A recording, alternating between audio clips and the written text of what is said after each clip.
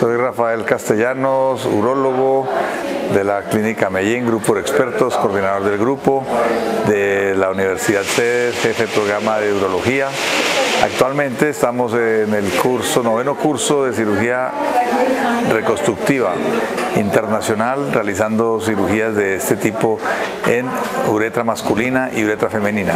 Para hoy tenemos como invitados al doctor Dimitri Kolavsky, que viene de la Universidad de Nueva York, y el doctor Reinaldo Gómez del Hospital del Trabajador.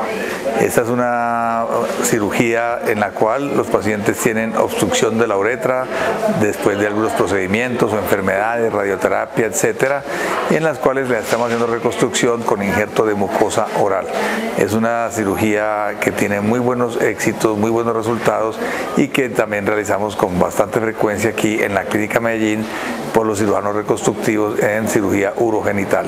El procedimiento consiste en liberar la obstrucción que tiene la uretra. La uretra tiene una mucosa y la cual se, se hace una ampliación utilizando un paso de injerto de mucosa oral en este caso. Es el tipo de mucosa de la boca, el carrillo de la boca, el que más se está utilizando mientras sea viable. En caso de que no se necesite, pues tendremos que utilizar también de mucosa lingual, también de mucosa labial, también se utiliza a veces de retroauricular y también pues en algunos casos de la misma mucosa del prepucio, dependiendo de cada caso. En, aquí se hace una liberación de toda esa estrechez, de todas las adherencias y luego se le hace un implante, una colocación del injerto para que la uretra quede amplia y el paciente pueda seguir orinando.